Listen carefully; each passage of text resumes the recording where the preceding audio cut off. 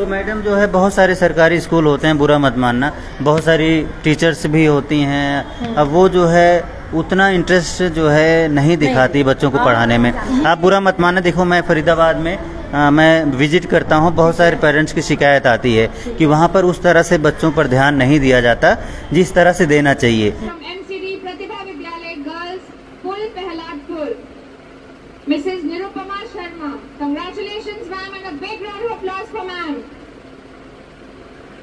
बहुत बहुत बधाई हो मैडम। थैंक यू सर क्या नाम है आपका? सर मेरा नाम निरुपमा शर्मा है। कहाँ रहती हैं आप? सर मैं फरीदाबाद में रहती हूँ। फरीदाबाद सेक्टर 46 की मैं निवासी हूँ और मैं एमसीडी स्कूल में पढ़ाती हूँ। और एमसीडी स्कूल में बहुत साल हो गए हैं, मुझे पढ़ाते हुए 16-17 साल हो गए हैं। तो बस मेरी कोशिश ये है कि जो एक इमेज है कि एमसीडी स्कूल में पढ़ाई इस तरीके से होती है, ऐसे होती है, एक थोड़ा सा लोअर एक इमेज के तरीके से हम देखते हैं, लेकिन ऐसा नहीं है। आप मेरी क्लासरूम के एग्ज़ाम्पल को देखेंगे। ऐसे कई क्लासरूम्स हैं जहाँ पे ये सब चीज़ें हो रही है। हमारे विभाग ने मिशन बुनियाद जैसी कुछ इस तरीके के इनिशिएटिव्स लिए हैं, इतना इंफ्रास्ट्रक्चरल और इस तरीके से सपोर्ट किया है मतलब रिसोर्सेज से और मोटिवेशन से और अदर जो कंटेंट रिलेटेड रिसोर्सेज हैं वो सब प्रोवाइड करके कि जो एजुकेशन का जो एक सिनेरियो है वो बहुत बदल गया है और बहुत बेहतरी की तरफ़ है।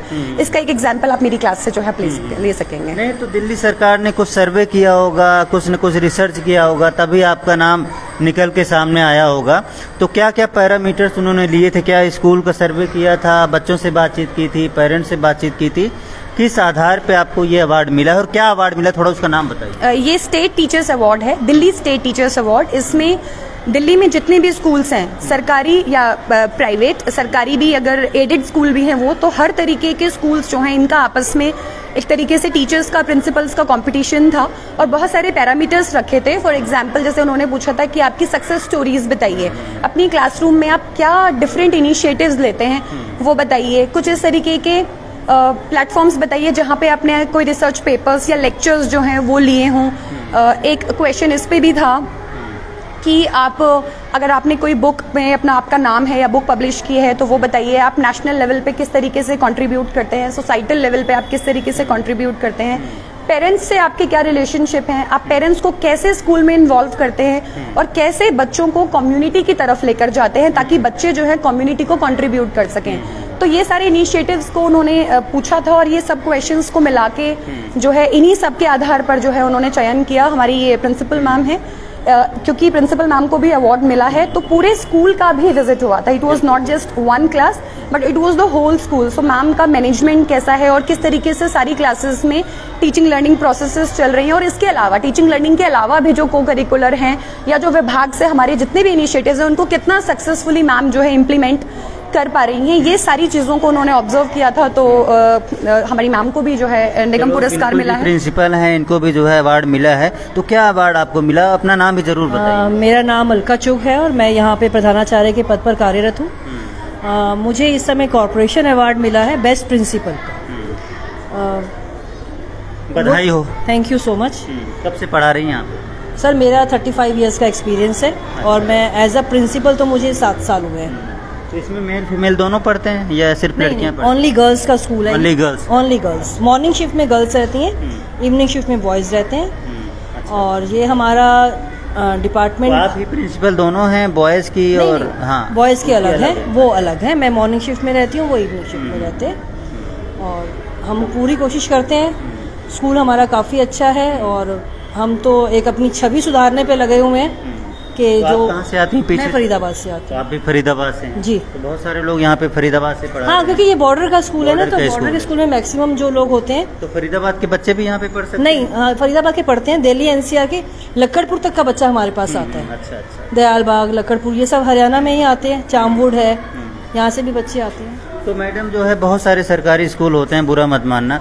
बहुत सारी टीचर्स भी होती हैं। अब वो जो है उतना इंटरेस्ट जो है नहीं दिखाती बच्चों को पढ़ाने में। आप बुरा मत माना देखो मैं फरीदाबाद में आ, मैं विज़िट करता हूँ बहुत सारे पेरेंट्स की शिकायत आती है कि वहाँ पर उस तरह से बच्चों पर ध्यान नहीं दिया जाता जिस तरह से देना चाहिए। देखिए जैसे प्राइवेट स्कूल है वहाँ भी वही टीचर्स होती हैं एक ही टीचर होती हैं बार बार पढ़ाती हैं लेकिन वो जो है डिसिप्लिन को मेंटेन रखती हैं और बच्चों पर नज़र भी रखती हैं। लेकिन सरकारी स्कूलों में कई बार वो ध्यान नहीं दिया जाता बच्चों पर जिसकी वजह से वो लड़ाई झगड़े में थोड़ा सा अपना टाइम क्या होता है।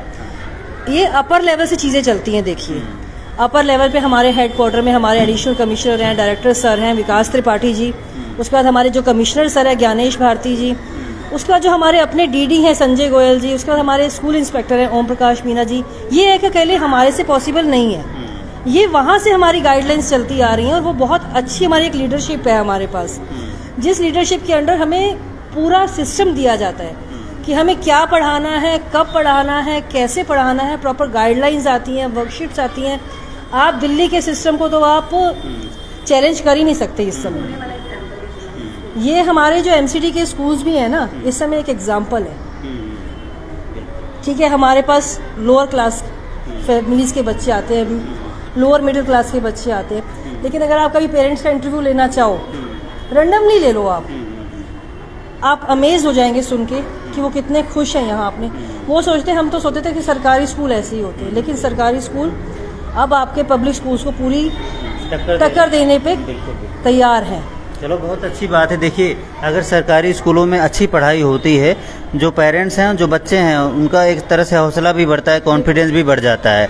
अदरवाइज़ वो फेडअप रहते हैं कि भाई पढ़ाई तो होती नहीं हम क्या करें कैसे करें पेरेंट्स भी हमारी पूरी कोशिश है। हम तो अपनी छवि बदलने की तरफ़ बहुत समय से प्रयासरत है और हम छवि बदल चुके हैं। हम्म, हम अपनी छवि बदल चुके हैं। बिल्कुल और ये परसेप्शन की तो कई चयन है आपकी हाँ कई चयन है ऊपर गवर्नमेंट ने आईआईएम अहमदाबाद भेजा ट्रेनिंग्स के लिए। पूरा एक वीक वीक लॉन्ग हमारा सेशंस रहे वहाँ पे। हमने पूरा मैं वहाँ स्पेशली सेलेक्ट हुई वहाँ जाने के लिए। हमने वहाँ पूरा एक वीक का ट्रेनिंग प्रोग्राम लिया। बहुत कुछ सीख कर आए हैं और इम्प्लीमेंट भी कर रहे हैं बच्चों के साथ में। कोशिश पूरी है। छुएँगे आसमान। दिन रात बच्चों के साथ ही लगे रहते बिल्कुल हम लोग लगे रहते हैं। मेरे टीचर्स भी एक मिनट भी मतलब खाली नहीं बैठते। क्योंकि गवर्नमेंट ने हमारे अपर लीडर्स ने जैसे अपने विकास त्रिपाठी जी हैं या वो इतने, इतना ज़्यादा इंटरेस्ट लेते हैं ना, जब से वो आए ना, आज तक हमने कोई ऐसे डायरेक्टर नहीं देखे जिन्होंने एजुकेशन को इतना सीरियसली लिया कि उनका और कोई काम ही नहीं है। वो हमेशा हमारे साथ ही जुड़े रहते हैं कि अब इनको कैसे मॉड्यूल्स देने हैं, अब इनका लेवल कैसे बढ़ाना है। जैसे हम लोगों ने एफएलएन शुरू किया, बुनियाद मिशन शुरू किया। एफएलएन का मतलब है हमारा फाउंडेशनल लर्निंग न्यूमरेसी हम एक एक बच्चे को हम अलग से हम सिलेबस नहीं पढ़ा रहे इस समय। हम हर बच्चे की बेस को मज़बूत कर रहे हैं ताकि वो कुछ भी पढ़ने के लिए तैयार है फिर आगे। और इस समय माइंड डेवलप हो गया तो अपने आप ही पढ़ लेगा डेवलपमेंट की तरफ़ चल रहे हैं। और ये सब हमारे पूरी गाइडलाइंस जो है ना हमारे ऊपर हेड ऑफ़िस से ही आती है।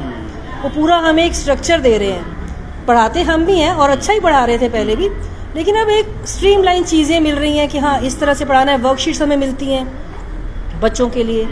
पूरा प्रोग्राम मिलता है हमारे सिस्टम मिल गया आपको सिस्टम के तहत अच्छा आगे बढ़ रहे हैं। बहुत ही अच्छा। बच्चे देखो